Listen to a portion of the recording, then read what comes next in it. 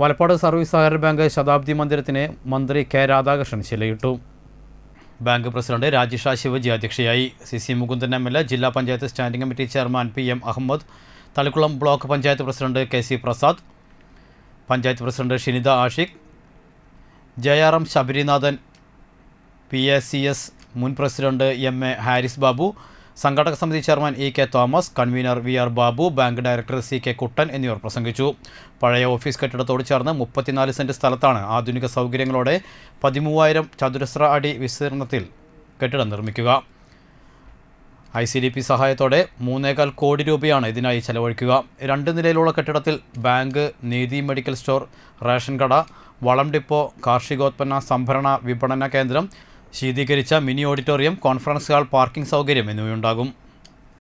നമ്മുടെ കേരളത്തിലെ സഹകരണ പ്രസ്ഥാനം അത് ഇങ്ങനെ വളർന്ന് വളർന്നു വരുന്നത് ആ വളർച്ച അവിടെ നിലയ്ക്കുകയല്ല കൂടുതൽ മുന്നോട്ട് കൊണ്ടുപോകാൻ വേണ്ടിയിട്ടുള്ള പരിശ്രമമാണ് നടത്തുന്നത്.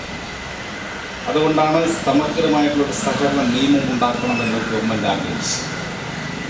ആ സമഗ്രമായ നിയമം ഉണ്ടാക്കുന്നതിന് വേണ്ടി കേവലം നിയമസഭയിൽ ബില്ല് അവതരിപ്പിച്ച് പാസ്സാക്കുകയല്ലേ ചെയ്തു നിയമസഭയിൽ ബില്ല് അവതരിപ്പിക്കും അത് സെലക്ട് കമ്മിറ്റി ചെയ്യും.